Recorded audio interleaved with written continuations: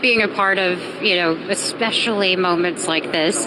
But we haven't done any of this in a long time, so I'm actually really nervous. But why I'm here and in general is that I've I've been using my platform for the past year, year and a half, and I think the whole goal of this event is to show people what the world could be like and give you facts of what this vaccination is. Well, I will say that to me it's the best award show of the year because I'm hosting. no, I, I I was equal, uh, equally geeked out when I found out who was going to be here, and I was happy that these people decided to join this and um, spread the word. I hope they feel a sense of comfortability, uh, safeness, hopefully more educated about what's going on.